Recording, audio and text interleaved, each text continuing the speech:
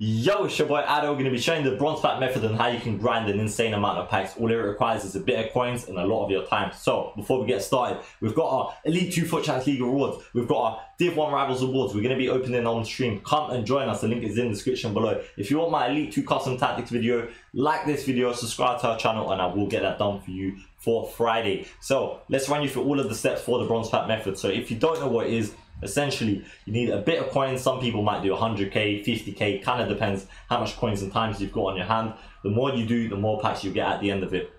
What we're going to do is show you this. So you're going to go to bronze packs, you're going to buy the cheapest one for 400 coins that's all it is and then skip it and obviously you've got to rinse and repeat this but I'll show you exactly how the bronze pack method works and how obviously people do packs from it. Literally if you haven't got that much coins but you've got a bit of time on your hands you can keep doing this and eventually you can do an icon SBC out of it. That's how it will work. So when you open your pack if you want to be lazy you can send everything to your it, into your club. If you've got a little bit of times in your hand, then you can quick sell these sort of irrelevant ones and get a little bit of coins for it. It does add up. And if you've got any players from the top five leagues or top five nationalities, so like English, French, Spanish, Premier League, La Liga, French League, etc., then check what their value is. If they're worth anything like this guy's worth 700 coins for a bronze card, that's pretty decent because it's top five leagues and top five nations, Spanish and Espanyol, obviously uh, the top league in there. So I would just sell this guy quickly, but not everyone, you don't have to do this, but if you want to make a little bit more coins,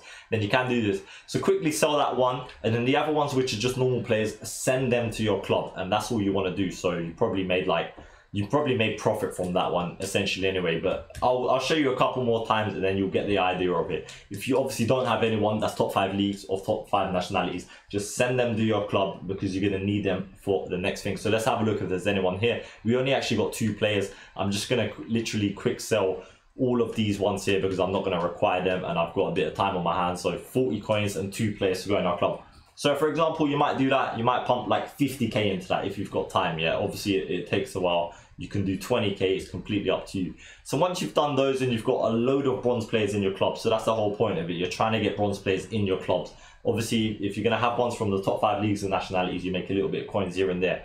What you're going to do is go to the bronze upgrade pack. So here we've got it here. I'm just going to do squad builder because that will save us a lot of time. So squad builder, do bronze, build the squad hopefully we've got enough players here. I don't even know who, who is in our club. And yeah, we do. And some players like this might actually be worth a lot if he is tradable because he's French, but he's in the MLS, so he's not. It's usually top five nationalities and leagues. So do do watch out for them because you might have a couple in the club which are worth more than, than you actually think. But yeah, I'm happy to get rid of all of those. Submit that. Remember, once you've done loads of bronze packs, then you'll be doing loads of bronze upgrades. And eventually you will have a ton of these silver packs. So it's two silver players packs that you receive from it.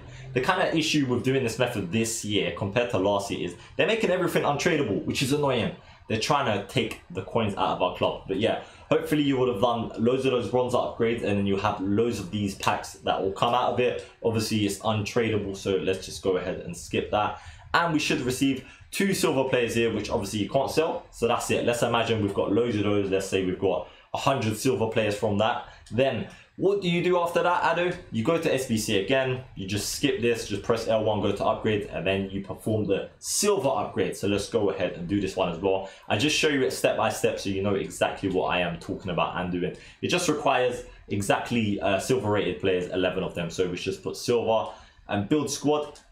Hopefully, again, we've got enough players in our club, which I think we've got a load of. Yes, we do. So let's just submit those as well get rid of them. Most of them are most likely untradeable anyway. And then submit that. And then at the end of it, what do you receive from it? You receive, I believe it is free common gold players, if I'm correct. There you go. Free common gold players from it. So do loads of those silver upgrades and then you'll be getting a ton of gold players from it. So if you complete two, that's six players, complete four, and that's 12 gold players. Obviously, they're, they're not going to be high rated and they're not rare but that's perfectly fine. So if you pump like 50k into those, you will have so many gold players coming back from that. And also maybe you can save some of the silver ones as well. And then what you do, once you've got all of those gold players in your club, what you can do is something like this, the rare player pick. So what are the requirements for this? It is literally, you don't even need rares, you just need seven gold players.